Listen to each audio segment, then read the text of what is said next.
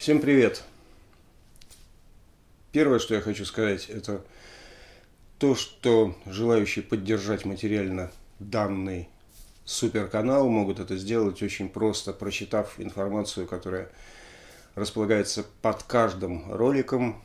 Там подробная инструкция, очень короткая и очень подробная. Элементарно это делается. Заранее спасибо. После вышесказанного я мог бы просто уйти, но не уйду, потому что решил еще немножко поболтать. И поболтать о том, что никогда не надо себя насиловать. Ну, не надо себя насиловать, заставлять слушать музыку, которая вам не нравится. Вот с этими э, целями изучения, исследования. Зачем? Вы музыковед, вы исследователь, вы пишете диссертацию или что? Или вы слушаете музыку для собственного удовольствия. Зачем вот это вот? Я изучаю музыку 60-х. Я, э, рок-музыку 60-х. Скажите, пожалуйста, а что там изучать? Что можно изучать в рок-музыке 60-х годов? Вот сама фраза это звучит э, смешно. Рок-музыку 60-х годов, равно как и 70-х, 80-х, 90-х, нулевых и дальше-дальше, э, можно просто слушать и либо получать удовольствие, либо не получать. А если вы слушаете и не получаете от нее удовольствия, ее просто можно выключить и поставить другую музыку. А изучать там вообще нечего. Она просто, она, она просто создана для того, чтобы вы получали удовольствие. Вот и все. Но это мое мнение. Я так вот все это дело воспринимаю. И уж тем более не надо изучать фри-джаз. Не надо. Потому что если вы не слушали фри-джаз и решили вдруг его изучить, стали слушать, он вам не понравится. Это абсолютно точно. Не понравится. Но можно делать умное лицо, писать где-то, рассказывать. Я слушаю фри-джаз, я такой особенный, да вы не понимаете. Я вот люблю фри-джаз, например, и не делаю никакого умного лица – но мне нравится. Я не, не, сразу стал слушать эту музыку. Долгие годы мне казалось, что это шарлатанство билиберда и вообще черт знает что. Но потом, поскольку я тупой, до меня дошло не сразу. До меня дошло не сразу, что звукоизвлечение у тех артистов, которых я слушаю и считаю шарлатанами, столь великолепно, столь качественно, столь мастеровито, что они не могут быть шарлатанами. Они не могут играть билиберду. И поскольку я тупой и не сразу понял, что и ритм-секция там звучит, послушайте, как, как, как круто они играют, как они в этих извилистых, запутанных дорожках, музыкальных тропинках, зарослях и дебрях, как они работают с ритмом, как они выруливают, как они все это дело находят, уходят, приходят обратно и возвращается точно в долю. Именно туда, куда нужно. Оказывается, все это все написано, все это придумано, а сверху еще импровизация, которая точно приходит туда, куда нужно. Это огромное мастерство. Это очень круто, это очень интересно, это дико интересно. Но, тем не менее, фри-джаз не стал массовой культурой, в отличие от любых других музыкальных направлений – даже в том же джазе, поскольку и Майлз Дэвис стал массовой культурой, и Джон Колтрейн стал массовой культурой, музыку я имею в виду, безусловно. И если копать дальше, и Аган Себастьян Бах уже давным-давно стал массовой культурой. Я видел пластинки, очень много их. Например, Джон Колтрейн «Баллады», сборничек такой. Это ладно. Майлз Дэвис «The Best», я видел альбом – The Best of Miles Davis. Лучшие хиты Майлса Дэвиса. Можете себе представить, что это такое? Я это видел. Представить себе этого я не могу, но я видел. Это есть. И окончательный гвоздь в крышку гроба интересной музыки. Это пластинка, которую я увидел на прошлой неделе. А, она была озаглавлена И. С. Бах Greatest Hits. Лучшие хиты Иоганна Себастьяна Баха. Пластинка 45-минутное по звучанию. Лучшие хиты. Самый попс из Баха.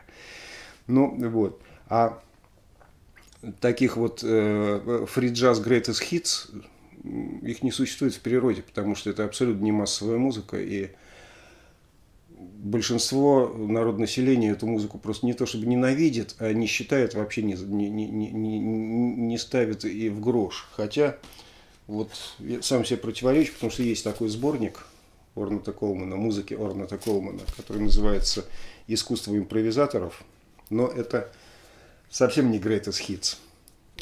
Это, мне кажется, такая штука для внутреннего пользования, поскольку далеко не все люди в состоянии собрать э, все альбомы Орнта Колмана, хотя их, их достаточно много, но, скажем, их меньше, чем пластинку Джона Майла. Джон Майл у меня почти весь собран, а Орнта Колмана собрать мне не удается. Не так много в нашей стране продается альбомов Орнета Колмана, потому что музыка это не популярна, она не массовая.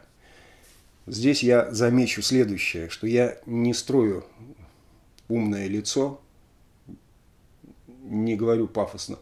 Я слушаю фриджаз. Я такой вот умный, продвинутый человек. Вот это все ваше, вот это все мне не интересно. А вот фриджаз я, я врубаюсь. Я ни во что не врубаюсь. Я не врубаюсь ни во что. Я просто слушаю ту музыку, которая мне нравится. А музыка Орнета Колмана, и не только, а вообще фри-джаз, в принципе, мне нравится очень-очень-очень. Просто в силу того, что я любопытен. И мне очень интересно, как все это развивается. Сначала было просто интересно. Сначала было просто интересно следить за импровизацией, за мелодией, которая есть во фри-джазе. Не надо говорить, что это набор звуков. Там играются мелодии, они есть. Но они так исполнены, что за ними надо следить. Надо следить, слышать их, услышать. Это очень интересно все. За ритм секции, которая своей жизнью живет, потом они сходятся, я про это уже говорил только что, сходятся, расходятся, раз в долю приходят, все, все очень э, очень любопытно, очень интересно, очень круто, очень профессионально. А потом после такого вот не исследования никакого, а просто отслеживания за развитием той музыки, которую играют артисты, исполняющие фри-джаз, она мне просто стала нравиться. Я стал просто кайфовать. И одна из моих любимых композиций Колмана, она называется так же, как вот эта пластинка. Пластинка называется Change of the Century, 1960 год. Вот ее я и демонстрирую в данном ролике в основном. И композиция называется Change of the Century, она последняя на второй стороне. И если вы хотите навсегда отвернуться от фри-джаза, то есть если вы раньше никогда фри-джаз не слушали, но решили окончательно убедиться в том, что эта музыка не ваша, и вы и к ней никогда не придете, сразу начинаете этот альбом слушать с последней вещи. Change of the Century. Все, и больше не вернетесь никогда.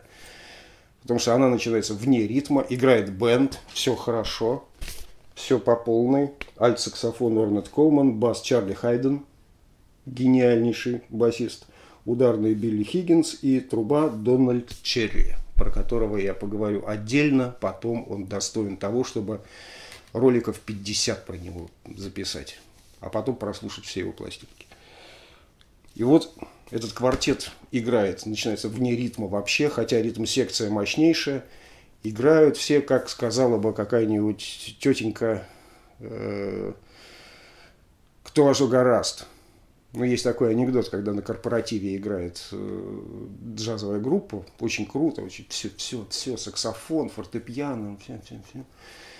Потом перерыв, музыканты курят, к ним подходит такой мужик из-за столика вставший.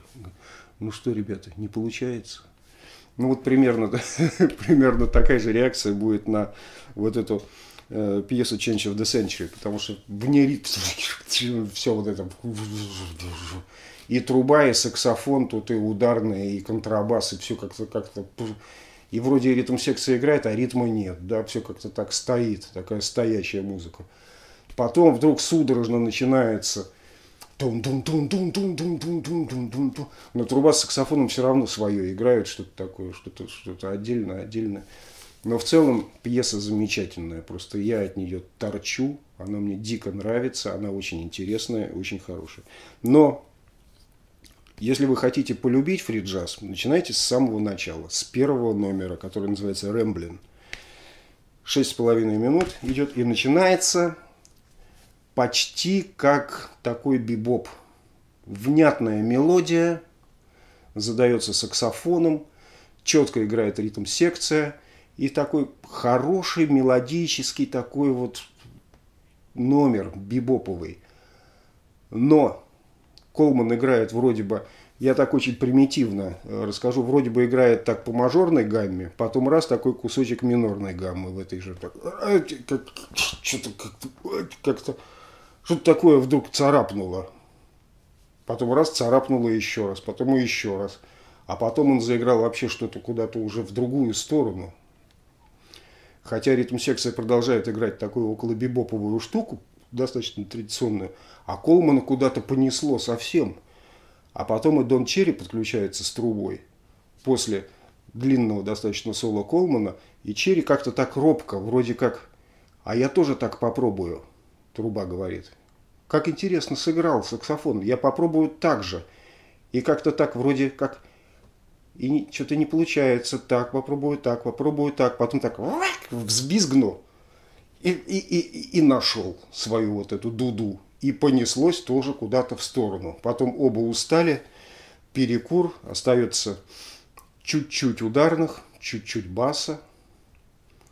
Саксофон с трубой перекурили, и в дуэте вдруг заиграли внятную бибоповую мелодию под конец, разойдясь. Ух-ух-ух-ух, здорово, раз – и закончили не там, где надо бы было бы закончить, а надо было бы доиграть еще полтакта. А, а раз так на середине и закончили.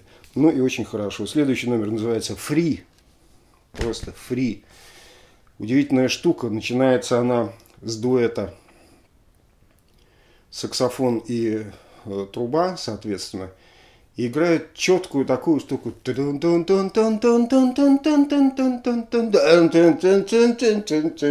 И вот так вот на второй фразе куда-то съехали вместе. И так даже не спеть. Так спеть могут только песнеры с замечательным своим вокальным ансамблем.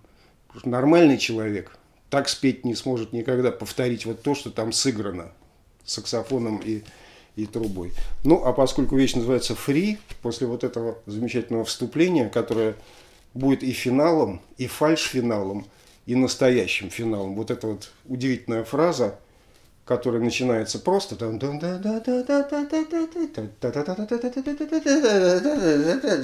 вот так. Так, так будет и в финале. А между вступлением и финалом будет полная фри опять-таки, будет даже не диалог саксофона и трубы, а они будут одновременно разговаривать каждый о своем. При этом четко идти с ритм секции, как это возможно, я не понимаю, потому что они, каждый играет свое, свою мелодию, свой разговор, не слыша друг друга, казалось бы, хотя на самом деле слыша, потому что если бы они не слышали, был бы хаос, а хаоса здесь нет, здесь есть музыка. Вот что удивительно – и так вот это все на протяжении 6 минут 20 секунд, пока не придем к этой самой начальной фразе, спеть которую невозможно, как я уже говорил, только песни рыбы ее смогли исполнить. В очень быстром темпе. Это тоже у них получалось. The Face of the Bass, последний номер на первой стороне, естественно, построен на контрабасе Чарли Хайдена, естественно, а саксофон и труба живут своей отдельной жизнью, но они уже к третьему номеру, они уже созрели. Они уже, если в первом номере, номере Рэмблин труба была робкой, то здесь они уже созрели, подкачались, вошли в форму и вовсю уже шпарят просто по полной схеме, играя мелодию, уходя от мелодии, превращая мелодию во что-то уже не мелодичное совсем – очень странные фразы, очень странные какие-то повороты, уход из ритма. и, казалось бы, навсегда. Но это абсолютно не важно, потому, потому что музыка больше, чем ритм. Она больше, чем ритм. Хотя в ритм все равно мы приходим обратно. Ну, про вторую сторону я скажу, что она построена как бы, как бы не издевательство над бибопом, но расширение бибопа до невозможной просто какой-то широты. Оказывается, можно и вот так.